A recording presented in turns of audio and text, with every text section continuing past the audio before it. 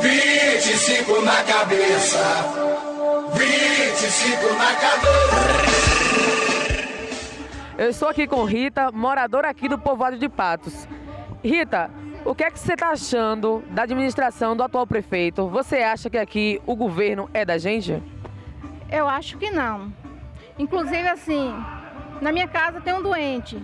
Tem a minha mãe que é doente. E assim, precisa fazer fisioterapia. Já tem um ano e meio que não consigo fazer fisioterapia com ela. Passo lá sempre para procurar saber qual o motivo, a, a demanda, sendo que eu vejo que gente com coisa mais simples está lá fazendo. Além da saúde, a situação aqui que o atual gestor, em véspera da eleição, veio aqui, colocou uma caçamba de terra, de pedra. O que, é que você tem a dizer sobre isso? Você acha que ele está olhando pelo povoado aqui de Patos? Não, eu acho que não.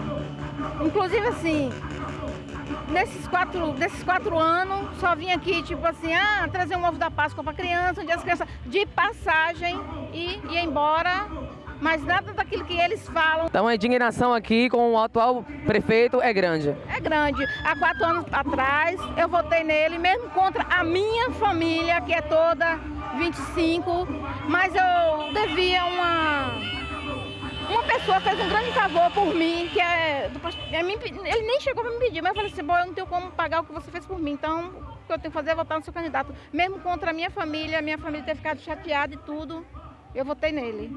Então você também é uma das pessoas que votou e não vota mais, não é isso? Não voto mais. Não. Votei, assim, não foi de coração. Votei por obrigação, mas meu coração sempre foi vermelho. Muito bem, muito obrigada, Rita. A voz do povo para o programa 25 por uma coité de verdade.